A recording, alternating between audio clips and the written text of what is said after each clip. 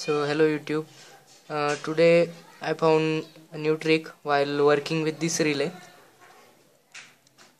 As you can see, I have connected common terminal and uh, one wire of this coil of this relay and shorted out.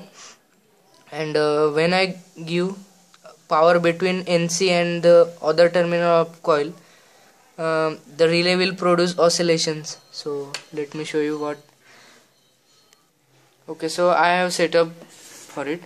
Uh, so I am using DC 12 volt. This is 9 volt battery and this is 3 volt. So when I have connected between NC and the other terminal of coil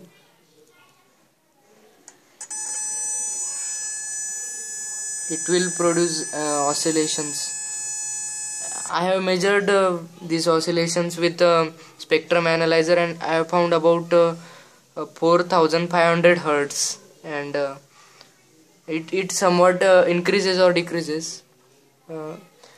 But it is quite interesting thing to do. So hello youtube. This is the 10 amp 120 volt AC or 10 amp 24 volt DC relay with 7 ampere at uh, 250 volt and uh, 12 ampere at 120 volt handling capacity. So uh, goodbye friends and try it with yourself and thumbs up to my video. Share like or comment and goodbye friends. Have a nice day